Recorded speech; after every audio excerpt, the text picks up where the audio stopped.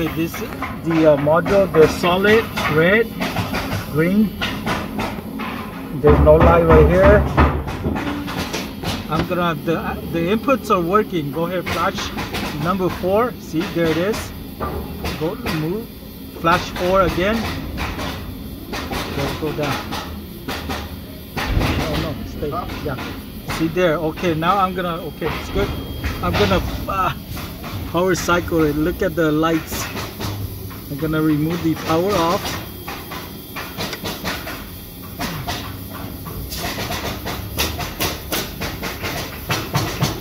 It's way about uh, 20 second or so. There now, see? Look at the uh, lights, they flash. There, they go back to solid red. There it is. My inputs are good. The ethernet is blinking. You see it's blinking, but I still got uh, red lights.